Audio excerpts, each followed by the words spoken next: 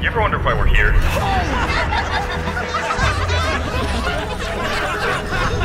It's one of life's great mysteries, isn't it?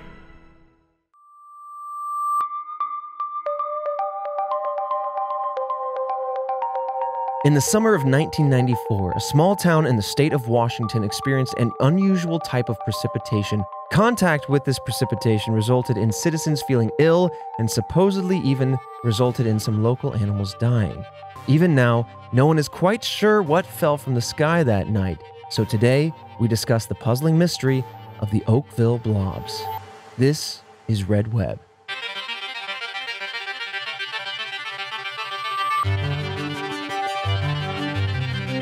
Welcome back, Task Force, to another episode of Red Web. It is a Monday, so you know we've got another mystery for you. I'm your resident mystery enthusiast, Trevor Collins, and going with me on this journey into this mystery, hearing it for the very first time, Alfredo Diaz. This is like a Twilight Show episode premise. Yeah, it kind of is. It's a lighthearted one, a shorter one today. You know, a little palate cleanser. I wouldn't eat the blobs, Yeah. but for the mind, they're a bit of a palate cleanser with all those dark, heavy ones we So you said about. precipitation, but there's blobs, so they actually like formed into a thing. Oh, it was raining blobs. What? Yeah, little uh, goops. You've never heard of this? No. Okay, well that's normal every week, but but I figured maybe this That's pretty one. normal. I figured this one maybe. The goops from the sky. Right, and I know how much you love goops. Like goops and ghouls. You're right. But yeah, these are the Oakville blobs. Little kind of clear goopies came from the sky. Oh, they're clear too. Yeah, and in our lifetime. What? Yeah. Well, let me just take you right into the story. Okay. Like I said, it's a little shorter, so we're going to talk about the event and then the testing that went on with some of these blobs, and then Yeah. the theories that remain. Despite all the scientific knowledge we have, we got buff brains out there. Mm-hmm. We still don't know exactly what caused these blobs or what these blobs consisted of. So, as always, we're going to talk about the theories at the end. And before we dive into today's episode, I want to give a small reminder that next week we're taking the week off from releasing an episode. So, if you feel confused, that would be the reason. And in lieu of that, go check out our friends over at 30 Morbid Minutes. They're our sister podcast. They got a lot of really cool macabre stuff right in this same lane. So you can still get that mysterious fix that you so crave. All right, let me take you back to a summer evening in Seattle. Okay. On August 7, 1994, residents of Oakville, Washington woke up to find a translucent gelatinous substance had rained down upon their city sometime in the night.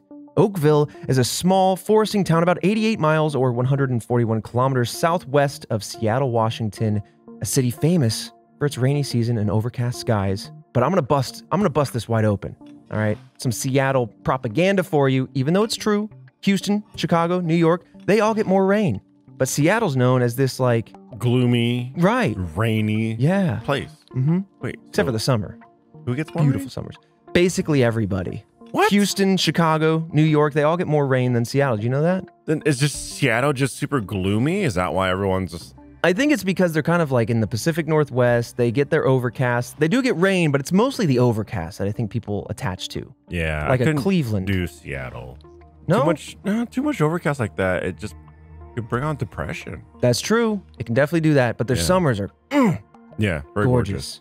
All right, so these blobs, as they have been famously referred to, were no bigger than a single grain of rice, which is interesting because I've known about this mystery for some time. And when you Google image search this, it shows like hand size blobs, right? Something that you could pick up like a jellyfish.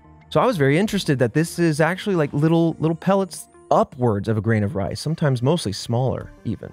This is okay. So this is one of those type of mysteries where how are we just either how is it a mystery? How do we not know this? Right? Mhm. How have not like the greatest minds all gathered Right. we're like flown to this location to start dissecting and putting things in little beakers and swirling around like liquids and and clear crystal jars or whatever. You know what I mean? Gloves on gloves, hazmat, Gloves on your gloves with your crystal jars. right? and- Hazmat suits, everything like Right. that. And then on top of that, just like how do we? I don't know. How's this a mystery? I feel like it's something that like That's what that's that- what I'm saying. That's man. like we should explore this. Mhm. We should know about this. Right. This should not be a mystery. This should be a thing that we know about. you think if blobs were raining from the skies, right? It's a big, huge alarm. And also, how does the world not? How do I not know? Right. I'm so surprised. To your point, I'm so surprised that we don't have an answer for this. This feels like such a big event. Mm-hmm. Enough so. Enough of a big event. Like, listen, When ET rolled into town, they were putting tubes down the streets and wearing hazmat suits and hiding all the Reese's pieces. True. Okay. Blobs start raining from the sky. Hmm, let's move on. It's Seattle. Yeah. Then again, this is the tinfoil hat on. Um, Mm-hmm. who's to say that they, yeah, just, you know, they didn't just downplay it, Maybe. Maybe that's it. Maybe they know and they didn't want to give the answer. right? So, the first reported sighting came from Officer David Lacey, who was driving when the blobs began falling, hitting his car's windshield. This was around 3 a.m., marking the earliest known sighting of the blobs. Again, I'm thinking about this grain of rice size ploppers. I don't know if I'm going to call them blobs. Blobs, like at what size do you start calling something blob and start calling something like a little drizzle? I would probably say goo. if I would call it a blob if it's like seventy percent of the size of my palm. Mm. Now, are we talking little palms, big palms? I'm talking like a Give me some sort of. I don't know. I have how do I measure this palm here? This man's I, about to reinvent the ruler. He's holding his hand up to his other hand, going, Uh, "Hmm, how do I?" How do I? hmm It's about we go. knuckles worth. He's now he's making all sorts of hand gestures, Almost like gang signs in a way. yeah. He, he well, It's just just a crip. I I can't measure. I don't know how to measure that. I'm gonna go ahead and Oh, say about three or four inches. Wait. Okay. Hold on now. Credit card. Boom. All right. So you know the Apple like MagSafe wallet. Uh huh. It's that's the size of my palm, Got it. Okay. but a little shorter. Okay, so literally a credit card. Yeah, I'm with you. When you start saying blobs, you're not, you know, you're not giving me like when you cry, per these definitions, you're Well, it's like- dropping blobs, baby. That's what I say. When I was, you know, when I was back in my emo days, I was dropping blobs. well, there's two things. Grain of rice is just like that's not a blob. That's Right. just that's a teardrop. Right. Okay. People paint that on their face. Gang tats. Mm-hmm. Now, They paint them on. now that's part one of it. Part two, if this was making people sick, like Mhm. I'm not saying that I'm out there like a wide receiver or like a, let's say running back, okay. and I'm out there, you know what I mean, like juking and spinning and stiff arming these blobs. Okay. But like, if if it's like it's already bad that it's clear, yes. but like if it's the size of like a credit card, okay, which is my palm size, right. um, then I feel like you could try and manage your way around it. From like Right, I like park at the see it. house and I gotta run into like I don't know across my driveway to the front door. I could probably calculate how many blobs I got hit by. But if it's the size of a grain of rice, it just it, you're just getting hit everywhere. You don't even know how much of it you're being exposed to. right.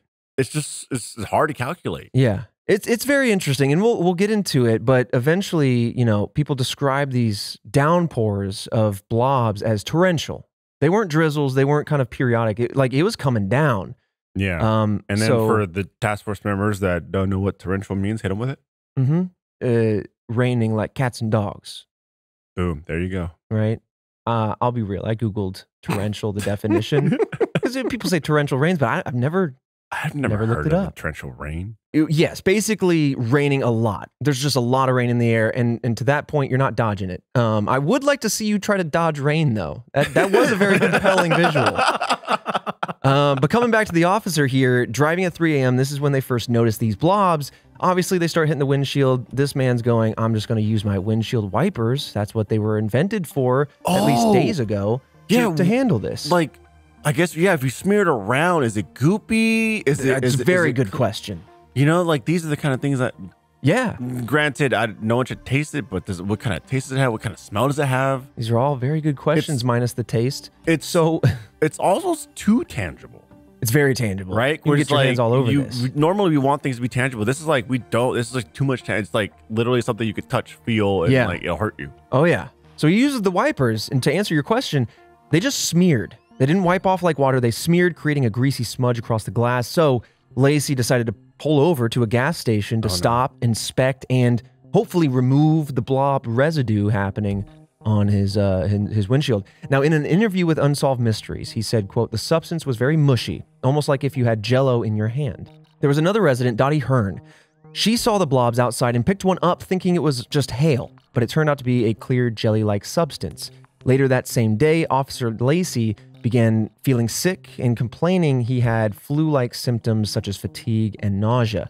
Coming back to Hearn, she also felt ill later that day experiencing chills, blurry vision, vertigo, and nausea.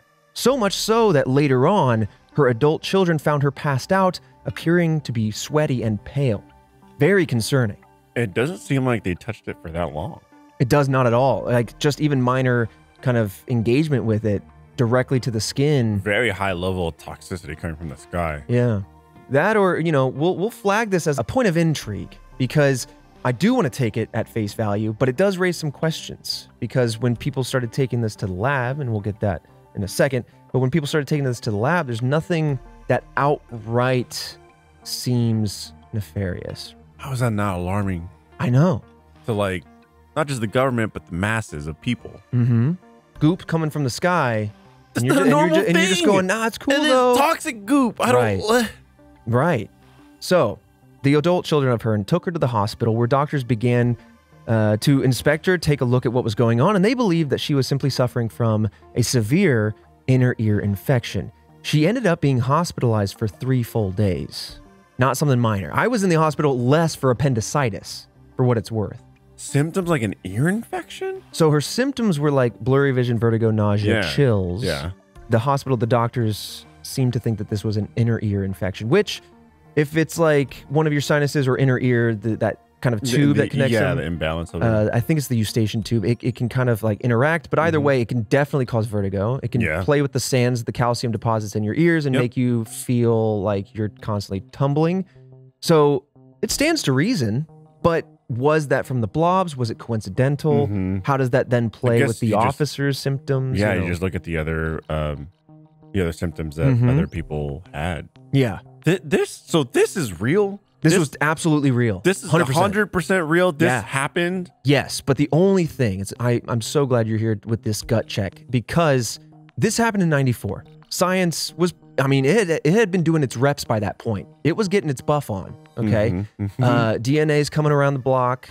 We got the internet yeah, coming. Those are honestly, if you're like, if we're talking about like science Mhm. and like working out, those are big gains. Right, those are massive gains. Proud. A lot of I'm, Proud. I'm, uh, there's got to be like a huge uptick in just people locked up or convicted because of DNA. Like, mm-hmm. yeah, Absolutely. yeah. So now we have the officer and Dottie Hearn both feeling unwell. But they're not the only individuals that came into contact with this stuff that started having symptoms. Many residents of Oakville themselves reported similar symptoms after interacting with this mysterious blob, at which point both Lacey and Hearn's families began suspecting that the blobs must have been the source of this illness. I mean, obviously we have hindsight. We we know that we're talking about the blobs, but in the moment, it was just kind of a, oh no, mom's not doing well, let's get her to the hospital. As a separate case, the officer is feeling unwell. But but then things started to unroll and they were like, "Eh, I think it was these blobs. Would you be touching these blobs barehanded if suddenly it just started raining blobs? No. Yeah. What would you would you do anything with it or would you just take a photo for the gram? Um, if I'm in my, I mean, I would take photos of it. yeah. If I was at my house, hopefully the corgis aren't outside hmm because then they would get sick. Yes. and then they Right, they'd probably eat it. Sick. Yeah, they tried like yeah, sniff at it, poke at Mhm. it. Um, so I stay inside the house. Hopefully everyone's in there. Um, if I'm in my car, real talk, hmm I'm hitting the biohazard mode. Oh, there I is do that. have one in my car.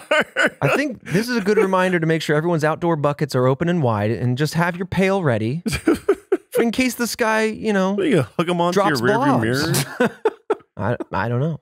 Uh, But, but if you got a sample, see, if I was there, you know, maybe maybe nowadays in '94 I I- would have been crawling, but you know, oh nowadays yeah, I mean that is '94. I I'd mean, scoop up a sample and I'd probably freeze it for like future scientists to to debuff. and then they'd go, "It's, it's, we can't, we can't use it." Right, and you destroyed it while Y- freezing. Exactly. Hmm. Well, I hmm. Yeah, because I wouldn't know if it also is airborne, you know? Oh, like if it's got Like I have no clue. an odor or like right. a viral if it's by element touch to it. or whatnot. I I would just see goopy stuff fall from the sky, but I don't know what this is. I'm not gonna touch it. Right. I'd be like, I've seen Watchmen. I know better than to go Yeah, poking around won't get involved. Now, it wasn't just the one time happening overnight. Over the following three weeks, the blobs rained down a total of six times, covering 20 square miles in Oakville. If you prefer, that's 51.8 square kilometers. One thing to clarify about these rains is that they weren't like sprinklings of fun baby jellies. Citizens reported describing the blob rains as, like I said, torrential. The area was getting hammered by this goo, and that's the definition of torrential. it's just so screwed up in so many ways. It's it's very Be- yeah because it's, not just an, yucky. an, an event. It's like a series of events that happens. hmm Then, uh, like obviously, you're gonna try and get back into the rhythm of your normal day, Right. your everyday life, and then it could hit at any time. hmm How does that affect you know going to the store? Like, if other people have come in contact, is that it, like how is it transmitted? Is it transmittable? Yeah, like, yeah. Just, there's just I would be full paranoid. It- it- But what, then- yeah, what what level of safety Right. are we talking about? Can we can we But- work with latex and pr- protect ourselves, Mhm. walk outside with an umbrella, and we're good? Or But- is it like no, no, no? This is a true biohazard from but then also, bottom? how is the news? How is it like not all over the news? I Oh, mean, it was. Oh, it was. was. well, it was in local newspapers. And we'll, we'll local. talk. a- how is this not like I I mean, at least state newspapers around Washington. gives the right? government time to like their stuff together? Yeah. and have a plan. I don't know. Like this just feels like a movie. It does feel like a movie. It really does. And then like the blobs start to coordinate and swallow people whole. Yeah. What is that called? The Blob. that Blob, movie. yeah. Good one. Before we get into the testing arena, though, which is very exciting, I, I do want to kind of talk about one other interesting resident here, Beverly Roberts. She also became sick during this time, but what's more interesting here, and also even sadder, is that she reported at least six animals died as a result of contact with these blobs. No. Yeah. These animals included a raven, a frog, and a newly adopted kitten. So basically, young or otherwise small creatures that I would say the blob to organism ratio would be Yeah. higher with these smaller creatures. So whatever toxins might be in these things, whatever bacteria might have been in these blobs, smaller creatures were more likely to succumb to whatever was going on. Yeah, I feel like how weren't there just a bunch of dead birds then That's a great point. I feel like everywhere? I feel like also your question about going to the grocery store becomes way more valid when you realize small creatures are, are dying to this Yeah. stuff. That's kind of terrifying. People have animals, people have pets, people are people. They're also alive, by the way. Mm-hmm. Everyone's breathing, I hope. So what's the ramifications on you, your personal health? Just living your life. This this almost starts to hit the point of a crisis where you're like, government, let's get this sorted. What is going Yeah. on? We need answers, right? How is like the military not rolling it? Like I just don't understand. Like you know, well, they're gonna pop shots at the sky like it's Well, I I don't know, or at least like you just have no clue. yeah. How are you not uh, maybe locking things down, trying to keep people Oh. safe? Well, then you start thinking about the water supply. That's what I'm saying. It- Oh, man. it just spreads to so many different That's true. things. How is it just isn't like hit the big red button, DefCon five? Like Did, Christian, do they call this like a disaster zone? I don't know what they, what do they call that when like something's so bad. They're like, we got to declare a natural disaster. Like, like you said, Fredo, have the army roll in, make sure there's bottled water, make sure that we're like looking after people. D- Is that something that would happen to us, in- or did it happen? I don't know. I don't think, at least from from what we had researched, we didn't see anything that said, yeah, like the government interfered and came and claimed it was a natural disaster, or claimed it was a quarantine zone, or anything like that. Right.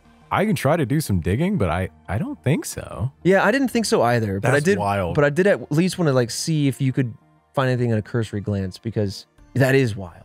In fact, in an article from the Chronicle, a local newspaper, Roberts shared that at least 12 of her friends also claimed to have witnessed dead animals after the blob rains. So, whether they were personal pets or otherwise animals out yonder, yeah, there was definitely at least a small impact. and it's not like a drizzle. Like this was coming down. right. Torrential, which we all know the definition of. Yes, we do. So let's move into the testing. What did people see when they took these blobs and put them under Yes. really close looking eyeglasses? Zap it with lasers. The, the the- look at look at it in the thermal goggles. And I like all those tests actually. I like that. It doesn't happen, but uh, spoilers, but I like that. So Dottie Hearn's daughter, Sunny Barclift, was concerned about what these Oakville blobs were, and she was wondering if they could be what was causing her mother's illness. So good on her for actually putting a few clues together and scooping up some samples. There was a doctor where Hearn was hospitalized, Dr. David Little. He put the blobs under a microscope, and a lab technician claimed to have seen human white blood cells. Very interesting. That's one of the few things that are found in these blobs. Barclift then sent a sample of the blobs to the Washington Department of Health as well as the Department of Ecology. Mike McDowell at the Department of Health found the blobs contained two types of bacteria. Strap in, folks, I'm about to speak science Pseudomonas fluorescens and Enterobacter cloacae. Whew. Man, science has some complicated right. sounds. They really had to make it hard. The first of which, I'm not going to repeat them. Uh, the PF, the first one, is generally considered harmless to humans, though in rare cases it can cause infections in people who are immunocompromised. In such cases, it can cause fevers, chills, nausea, and sometimes pneumonia. Hence the fact that we had. hmm damn. Yeah, And you can check to see if they're immune compromised. you can definitely do that. That or with high enough exposure, potentially it doesn't even matter. If you have enough of this bacteria hitting you, Right, that's true. you know, maybe maybe that's what's happening. This bacteria can be found in moist environments such as soil and water, so it's not super uncommon in, in that case. Now, the second bacteria, EC, is a common one found in the gut, as well as water, sewage, soil, and food. Again, this one is also usually harmless, except for cases of compromised immune systems, and in these cases, it can cause respiratory infections or urinary tract infections. oh my god. There was a big water source somewhere that had these chemicals. Mm-hmm. It was absorbed into the sky, Right. made a cloud. Clouds came down with it. This man just figured out the entire water Right, cycle, this- uh, the Yep, cycle of yep, the water. that- I just system, described the cycle of water. that is what I just did. And guess what? Cracked the case wide Cracked open. case But I mean, open. like, that, that's what this is telling me. Absolutely. Now, at the Department of Ecology, we have Mike Osweiler, who found that the blobs were organic and that they came from a once living creature, or so he believes. They also found that the blobs themselves may have been a bacteria, though which bacteria exactly was not specified. So, to be totally clear, what is being posited right now is that these small, potentially grains of rice size globs Mm-hmm. are actually just enlarged cells, which is not unheard of. Cells can actually be quite large. For a single cell organism, you can have like a little acorn or something. Damn. But that's really interesting. Then then the question then comes down to why and Yeah. from where. Per Historic Mysteries, quote, Osweiler told the Seattle Post Intelligencer that the blobs contained a number of cells of various sizes. He believed that they had come from a dead creature, but the creature was not human. The cells had no nuclei, meaning that they could not be from human white blood cells or of human origin at all. Now, this is where I start to get my little brain confused. Okay. We've got multiple bacterias, different sizes. Mm-hmm. The thing itself could be a bacteria, if I'm understanding this correctly, but they don't have any nuclei in these cells. But then, and I'm, I'm spilling the beans here, someone else is going to come through and say that they're eukaryotic cells, i.e., they have nuclei. So this is a very interesting situation. I just want to hang on this moment for a second because in 94, when they're investigating this stuff, we're like, cool, we're finding out about the bacteria. Maybe we're going to get somewhere. Multiple people are testing this thing and it's like ending up in three different directions. Yeah. That's not helping, guys. Doing a couple more reps. That's what I'm saying. Put it in the bucket in the fridge next to the wedding cake and just let it hang until science has evolved. Yeah. I mean, if anything that they do, that maybe come to, I don't know, because like, yeah, the fact that like they're getting different answers and they're contradicting each other, Mm-hmm. I don't know. I feel like ideally I'd want them to get together Mm-hmm. and triple, double check everyone's work. You know what I Right. mean? The scientific method. Yeah. Yeah. So to quickly recap before moving on, Dr. David Little at the hospital where Hearn was hospitalized actually looks at these things under the microscope, claims to see human white blood cells. Then you have both the Department of Ecology and the Department of Health, both unable to confirm the presence of human white blood cells. But then you have others within those departments saying that they're organic, coming from a living creature that isn't human, but they also could be bacteria. I mean, science, or more specifically, scientists are just all over the place right now. hmm Now, Barclift, which was the daughter of Dottie Hearn, she ended up taking a sample to a private lab where lab technician Tim Davis claimed that the blobs contained eukaryotic cells, which meant that it came from a living thing. This does confirm the idea that it came from a living entity, but it does raise the question of is there a nuclei or not? Because per the Nature Journal, eukaryotes are organisms whose cells contain a nucleus and other membrane bound organelles. There is a wide range of eukaryotic organisms, including animals, plants, fungi, protists, as well as most algae. So I don't know. Task Force, there's a lot of you guys out there doing all sorts of different things. I need the hive mind. Am I getting confused on this? I might not be buff enough, but I'm Oh. very curious as to like what is actually happening here. And it, it could just be straight up the confusion that led for this to be a permanent mystery. Because if we had answers, I don't know if we'd be here talking about it. True. Yeah, I mean the fact that like everyone is coming together and getting different answers, and even within the same department getting different answers. Right. I just it's a mess. It's got me twisted. complete Mess. I feel like, you know, I want to make sure that I present this data in a clear and concise way. But then these tests come through and just don't even know what they want to say. we finally have like something that is I would even go as far as to say overly tangible. Mm-hmm. Mm-hmm. Too, we- yeah, too tangible. Too tangible. There is such a thing. This is it, or an example of it. Then we have a bunch of scientists there testing. It's not like other cases where uh, evidence is lost or Mhm. whatnot, or, Right. or it's so old, it's like lost to time or whatever. Now we have it. It's just we can't break it down. The experts in their fields are just being scattered in multiple directions. Damn it. yep. And because of all that, because of all the different tests and the different angles on this thing, that is what made this thing so mysterious, leading us to even this day being unclear on exactly what these blobs contained and what their true origin could have possibly been. Well, hello there, Task Force. It is that time in the episode where I pause and talk directly to your eardrums. But hey, we're going to do something a little different. I've gathered the, the team, the squad. They're here. And so I'm, I'm not only talking to you, Task Force, but I'm talking to you, Fredo, What's up? Jillian. Hi. And so I'm excited to uh, share this gap in the mystery with the two of you. Did you know? Did you remember May 4th, Fredo, we got the live stream Yeah, we where do. we're going to be selling the uh, tinfoil hat, the baseball hat with the inner lining that's all silver. Such a dumb, great idea. Oh, I love it. And then we also have the evidence box, which is it's got a shirt, it's got a black light, it's got a pin, and it's a very thematic red web box. So Just be careful where you shine that black light. be careful where you shine it. You never know You what you're gonna get. Find too much tangible evidence. Little baby handprints or something worse. I don't know. Man, I was just looking back on the uh, the origin of baby hands the other day. It was one of, one of our ghost hunts. yeah, it was. We got to get back in there. But yeah, we're going to do a live shopping event. And if that sounds interesting to you, come hang out with us. It's a whole lot of fun. We're going to be talking about conspiracy theories a little bit. We did the same thing for the Sippy Cup of Knowledge. You guys blew us out of the water Yeah, as you you always do. You showed up, you bought the thing in 30 minutes. It was it, gone. bumped up your clearance at the facility. Mhm, mhm. awesome. You don't show up, you don't get a hat, bumping your facility uh, clearance down. Right. You're going to you're going to go down a floor to Yeah. the basement in the basement. hmm We've just we've just dug it out. There's no walls yet, so it's kind of just a hole, Right. but it it is there. it's yeah, it's got AC. it's just a fan aimed Yeah. down the hole. Um, oh, also, this summer, Red Web team, we're going to be at RTX yes, here we in are.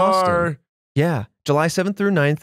We're going to have a Red Web themed escape room that Fredo and I are kind of putting our minds together. We're working with the Escape Game Downtown, world renowned escape room designers. And so we're going to work with them to kind of create a really cool, immersive bat squatch situation Yeah, where you can see if you can escape them. a red web themed and slightly changed to our liking uh, escape room experience, Mhm, which mhm. I mean, I think it's just perfect for the task force at large. Oh, yeah. I will say we did it and we did it pretty quick. we nailed it. So I'm gonna have to up the difficulty. We can do that. We can don't be the alarmed if I just you hear a little ee-oo, ee-oo, ee-oo, and I come in oh around Oh the my corner God, on, a little, little big on wheel. little, my little big wheel, and I'm like, "Hello, task force. I'd like to play a game." Is that Fredo? No, no. No, No, it's not. not. But yeah, if you want to learn more about that, we're also doing a couple other things yet to be fully landed on. But I think we're gonna have at least a Red Web panel, top secret. But maybe you have a little clearance here. I'm just, I'm just trying to, you leaking I'm trying to manifest it. Is what I'm trying to do. You leaking Leaking it. or is this the act forcing No, you I to? think if I leak the information enough, it manifests it. Is that how that works? Yeah. Mhm. Yeah, can. the- I'm getting shaking heads all around. Look, that if you- sounds like it works. you start telling task force that we have a panel, you're gonna have then to we give us a panel. Well, I want to have have to do it. an annual meeting of the minds so task force can come hang out again and this time in person, ask us questions, but also we have some fun ideas planned and a few other accoutrements that I won't spill the beans on just Mm. yet because they are really strapped into that manila folder. I just, you know, when you like can't get those little two Yeah, butterfly things Gorilla to, glue. and then the gorilla glue's holding the lip down. I, I hate a torn open envelope. I don't have a letter opener. So once I can get in there, I'll, I'll reveal what else we're doing at RTX. There we go. But yeah, if you want to get tickets, they're available now at rtxaustin.com. The ticket for the event includes all of it. You don't have to worry about a separate purchase for the escape room or anything. So yeah, come hang out. Otherwise, with that said, let's talk about today's fantastic sponsor.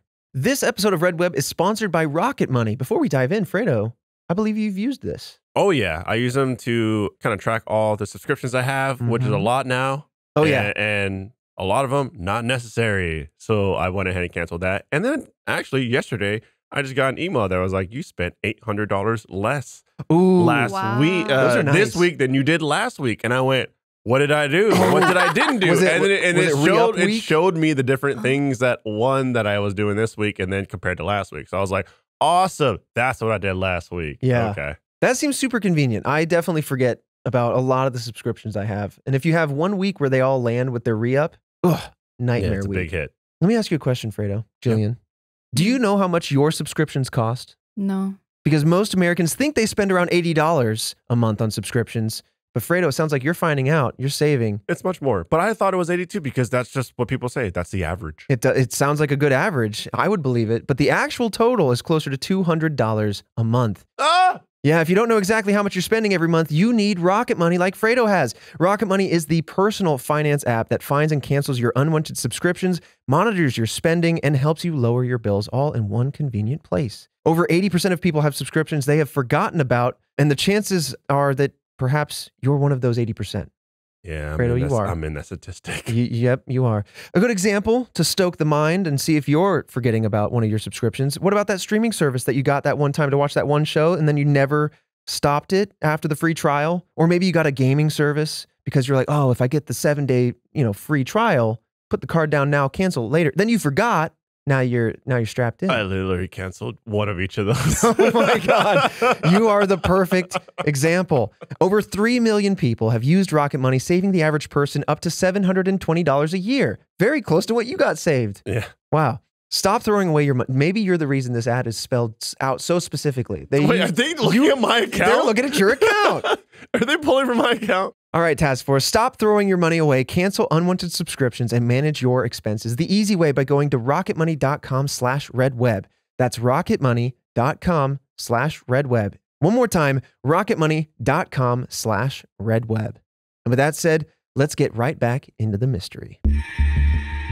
Let's dive into the theories that attempt to answer what went down here. And to my to my knowledge, to my memory, a lot of these are really interesting. And do that thing where we come out of the episode going, I think we have an answer, but I don't know. I, I want to hear what you Oh, think. Yeah. this hasn't happened again, has it? Since the blobs? '94. Not that I'm aware of. No, not that we could find. Just those over the span of those three weeks, there were those six instances, and from what we could see, has not happened since. Hmm. Damn, interesting. Maybe this uh, theory number zero. I'm going to put this one at contrails. Some sort of weird biological exhaust from a living spaceship. What? Let's get into the theories now, shall we? um, theory number one was this some form of human waste? One theory that residents of Oakville thought might have caused these blobs was the idea of human waste. Maybe a passing airplane dropped human waste over the town, causing everyone to get sick from the bacteria and the antifreeze that is combined with it. You know, if you've ever been in an airplane, you go to the little Mhm. stall that's in there, you Yeah. go to the restroom. All I know is it makes a vicious loud scream when you flush the thing. So I hit the button and quickly plug my ears. But there are a lot of chemicals that keep it inert, so that way, you know, no biohazards can back up into the room and spread illness. But also, since you're at altitude and it takes it into a place that isn't pressurized, it could freeze, expand, crack things. So antifreeze is, is part of the mix. There's probably a few other Oh, compounds, I but did not know that. yeah. And so, uh, if a plane were to, if it were possible, uh, evacuate these bowels over a town at a speed that it just then, like, it falls out in a goop. And at that speed, it kind of just breaks apart into a mist and then eventually rains down. What's interesting is how did it last multiple weeks? Yes, because this isn't something that normally happens in planes. They don't just release the poop from the sky. Right.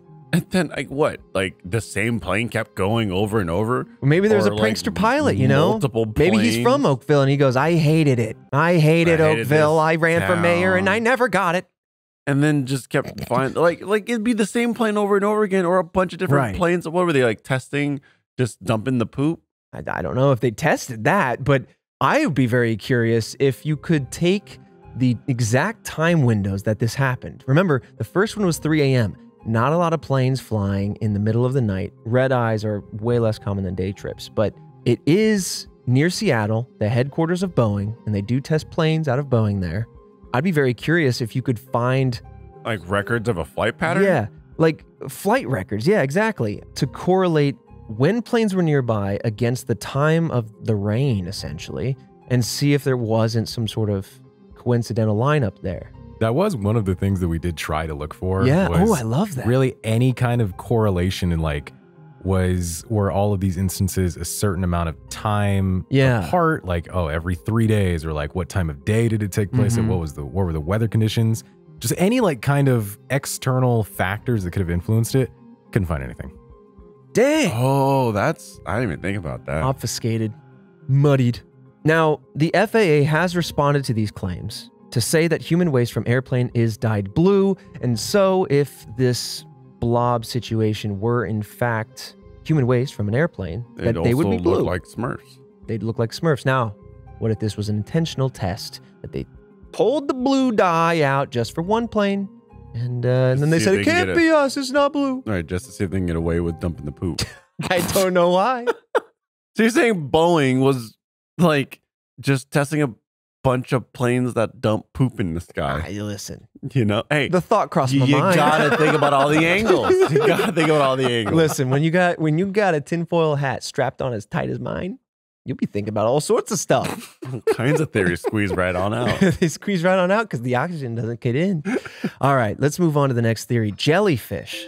It's another popular theory, What? and it's that the blobs that we were seeing in Washington were actually pieces of jellyfish. Since the Air Force was known to do bombing practice runs off the Pacific coast, 40 to 50 miles, or about 64 to 80 kilometers west of Oakville, it was theorized that perhaps they had exploded a school of jellyfish. Pause. That must have been such a violent explosion that it kicked that, that group of jellies up into the How stratosphere. In the world, it must Uh-huh. have been the biggest school of jellyfish ever with an explosion so massive it propelled it over. right.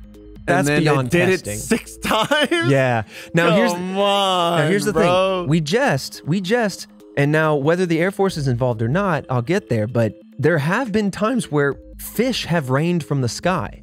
So we are not in strange territory. This is oddly familiar because of like just I don't know Weather like air- conditions, like, oh, now- yeah that's That's another thing that has some theories to it. Now I'm going completely off the cuff. I've got no backup data here. So task force, correct me if I'm wrong, but basically cyclones or uh, water funnels potentially pulled aquatic marine life, you know, up into the air, and then when they disseminate, then they're caught in the eddies of the atmosphere, or maybe were thrust far beyond. But you know, if there was a water cyclone at some point that pulled up a school of jellyfish, it, it is possible in some morbid way that it scrambled them up enough to tear them into pieces and send them off because they'd be lightweight enough. What? I mean, they would be wild. Very wild. Absolutely wild. I Mhm. mean, I think the whole thing is like, if it happened once, sure. Yeah. The fact that like six times, that's Mhm. there's just no way. This is when I then start to think, all right, do jellies normally swim in the Pacific Northwest?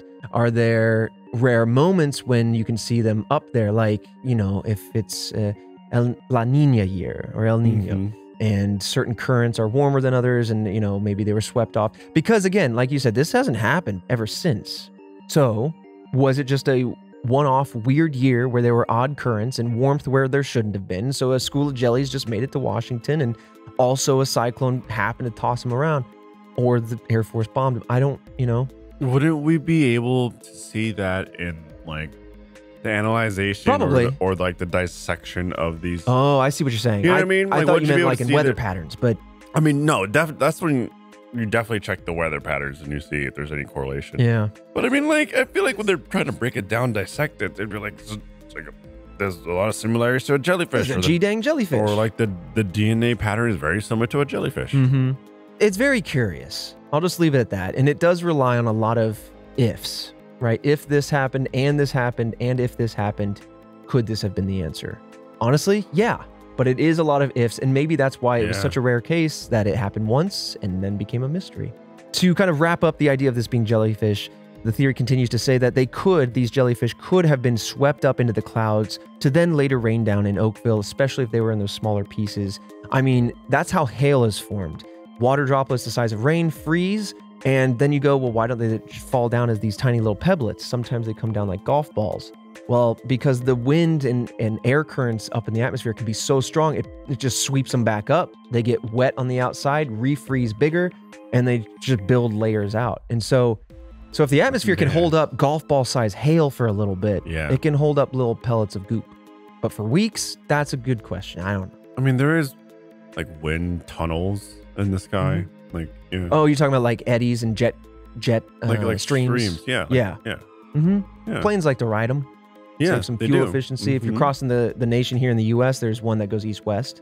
Uh, well, mostly one direction. I think it goes east, Oh, but so that's a con- there's they're they're constant sometimes. uh, more or less. I mean, it's Mhm. like the currents of the ocean. You can generally map them. They kind of have seasons to them, but on the whole, they average hmm certain places in certain directions. Yeah.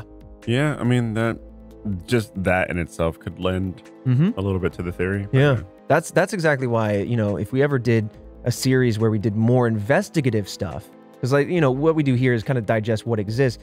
If we ever wanted to get a little deeper, that's the stuff where I'd look at like weather maps, weather history, and see if there are odd things that line up with these dates. That would be really cool. Yeah, strapping Christian to a really big windbreaker and seeing if he could stay in the current. I always was curious if a man could be a kite. we give him I, we give him a jar and a funnel, and we say, "Go get him, Tiger." Go Get him. All right. Another theory for the blobs is that they were star jelly. Star jelly is also a clear gelatinous substance, and since the 14th century has been reported as something that has, quote, fallen like rain. However, what exactly star jelly is, is still unknown. Theories include bacteria, frog spawn jelly, slime mold, and algae. In most cases of star jelly, the substance only appeared once and then kind of disappeared until a future generation also witnessed it. Let me describe a few inst- or at least one instance of this of this jelly and see if there's any, you know, relation here that you can find. So in 1950, two Philadelphia police officers came across a strange, quote, domed disc of quivering jelly, 6 feet in diameter, 1 foot thick at the center, and about an inch thick near the edge. When they touched it, it dissolved into, quote, an odorless, sticky scum. This then inspired the movie that we actually referenced earlier, The Blob. Another instance of star jelly occurred in 1983 when a gray white jelly rained in Reading, Massachusetts. Tests done on star jelly by the National Geographic Society did not find any DNA, which kind of matches a little bit with, uh, Right. with the blobs of right now. So maybe this is this it's another mystery. It doesn't give you an answer, but it gives you another mystery that says it's star jelly. And in this particular circumstance, it happened to be a little bit more consistent and it was more scrambled. It didn't come down as one big bloop. It came down as something that had popped on the way down. I don't know. Sounds like such a large amount of bullet. Yeah. I don't know. But man, now I'm curious about star jelly and if it's edible. Also, why are the police people just touching it? I, I, I don't know, man. I've seen enough movies that when something alien comes down, yeah, duh, you run towards it, but you don't stick your hand in it. True. It could be like a cool alien tech suit or something, but like you gotta scope it out from Right, you gotta just scope it out. See if you can become an enhanced superhero, Right. or if you're about to deal uh, with uh, a scummy little Yeah. demon or a parasite's gonna take you over. Right, that's another one. I've what's the one where like, oh no, it, it was Yondu, the actor who plays Yondu, but No, he that's not he the faculty. like a little uh, oh splice, no, splinter, no, Slither. Thank you. Oh. where slither like it shoots out a little barb that burrows into him, and then he ends up Mhm. becoming like the host of this thing, and then then it's like Oof. zombie movie kind of. Yeah. Good movie, but man, that that tickled a, a latent fear in my deep core that I did not need to experience. Moving on now, a very compelling theory yet to come here. Government cover up Yeah. I knew that one. kind of plays with the idea. Was uh, was Boeing involved? Were they Right, dumping they're stuff? Experimenting with military stuff. Right. With a lot of these theories not necessarily matching up for some people out there, there's a lot of citizens of Oakville theorizing that there must have been something afoot, something that they weren't being told. Mike McDowell, a microbiologist of the Department of Health, claimed that the sample of the blobs mysteriously disappeared before any more tests could be run on them. Basically, people kept samples of this thing so it could have some staying power. You know, they could they could sample this into the future as we would get better tools to understand this stuff. But whatever samples were kept for the long haul apparently disappeared. Oh, well, never mind. Take back my statement of evidence getting lost. Right. earlier. Right. The mystery itself was too tangible. Right. Now the evidence is is ghostly. Yeah. He told National Geographic this quote, I came in and the material was not where it was supposed to be. I asked management what happened to it, and the exact words were, do not ask. They also went on to say, quote, this material, and I have no proof one way or the other, was manufactured by someone for some purpose, and for some reason, Oakville was chosen as the test site. That's spooky. That is very spooky. But I mean, here's the thing. I'm sure the government has chosen cities, towns, civilians as test subjects and test sites. Mm-hmm. If this is something that they tested, I, I there hasn't been anything that I can think of that could possibly like that this is possibly the beta for. Mm-hmm. Yeah, like I mean, I mean, kind of like the initial test for, yeah. or like there's nothing like to this day that's public that I can think of that's like, oh, that it could be a spinoff from like right. from this. I'm curious, like, and this is just, you got me spitballing now on the government side of things and thinking more military. Obviously, you've got the Geneva Convention, so you're not going to use chemical warfare or biohazard warfare. But I mean, in a sinister way, is this a, a way to test the delivery of a bacterium to a to a people? Yeah, to a mass don't- populace. I don't know. Yeah. The other question is is this in a more positive way, a way to deliver something like a fertilizer or, you know, I don't know, something uh, like a new iteration of something. So instead of fogging your crops, instead you like drop Oh. down blobs that can then, I don't know, maybe they're pesticides or maybe they're fertile. I, I don't know. I'm just spitballing yeah, here. maybe there's testing But something for agriculture, people, you and then like, yeah. And you, you just want to know the will also- implication. yeah, but then why would you why would you not test that on a bunch of crops? Right. Why would you test it over? Well, then I picture, you know, uh, some evil overlord spinning around in their dark leather chair in their, you know, onyx palace going, Well, the studies show that it won't kill anybody, so send it. Study the results. They might get a cough or something. We might lose a few kittens, but I'm willing to make that bet. That's sacrifice. Right. I don't know. I listen, I don't is No- life a movie? no I keep blurring the lines. It's very blurry. So, kind of continuing on with this thought process, some theorize that the Air Force was doing bombing practice runs. You know, we talked about that in the jellyfish did. theory. Mhm. Now that's being plucked for this one. They're saying that these bombing practice runs could have been testing other things like biological weapons. The Air Force has confirmed bombing practices nearby, though they did in fact deny the use of any sort of biological warfare. Some residents claimed that around the time the Oakville blobs appeared, they saw many military aircraft. So. It's a wide open door to say something's going on and that the military might know something, but on the same token, I gotta call it out. You asked where the military scrambled to assist. And so, was it causal or was it a reaction? Was the military presence something that caused the blobs, or was the military presence something that was reacting to the blobs? That's a good question for a task force to kind of ponder on. I'd love to hear your thoughts, That's but true because I mean they could scramble the jets pretty quick. Um, who knows?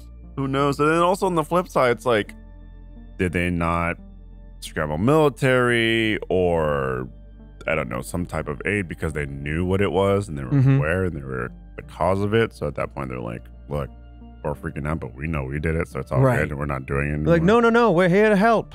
yeah, Yeah. damn, you'll never know. Never know. Well, hopefully we know. It's it's like the bloop, right? That was a just a little behind the scenes task Oh, yeah. force.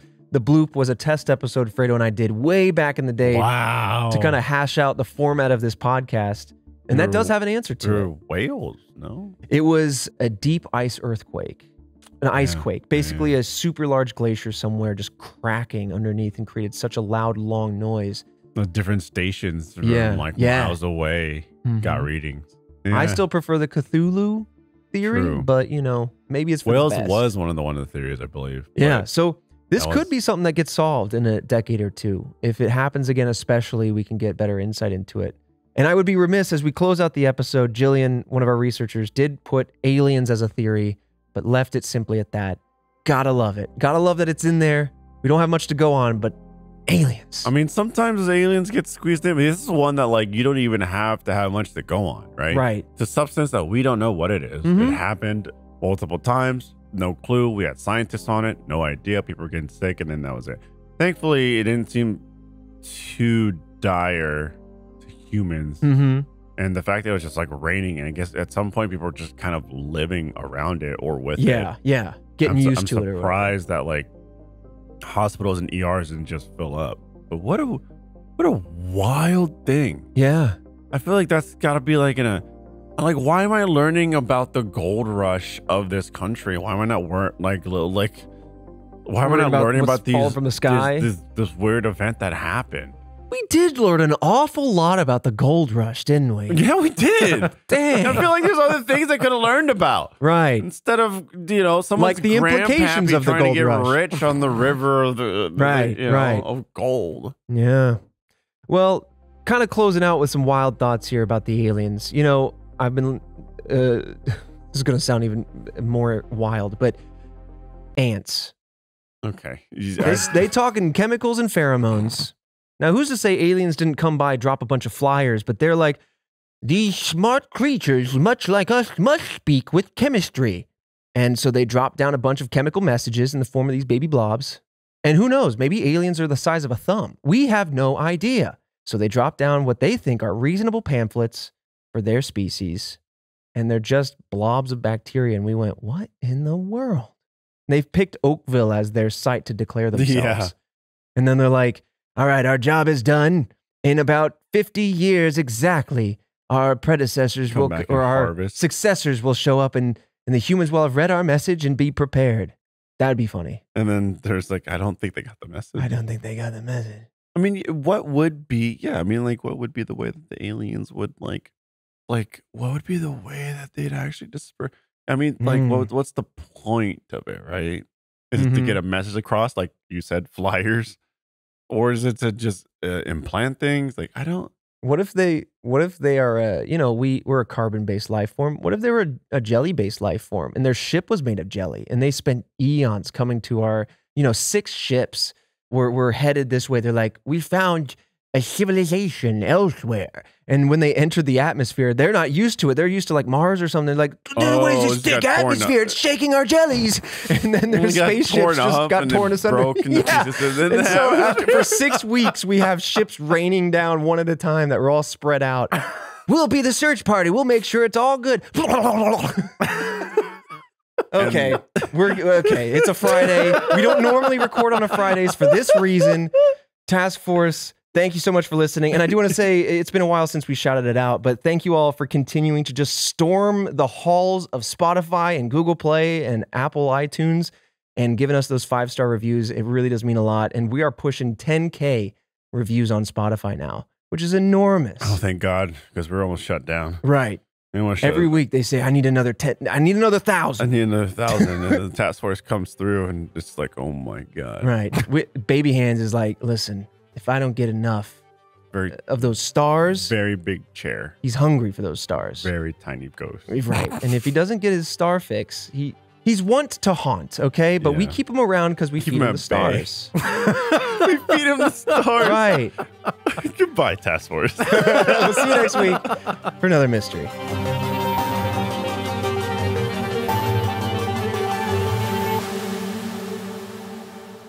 Boom. Post credit scene. Oh, right. We don't have an episode next week. So if you made it this far, this is your reminder. We are off next week. Go check out our friends over at 30 Morbid Minutes, an amazing podcast, very similar tone and mysterious feel. You're going to love what they got. Possibly more ghouls.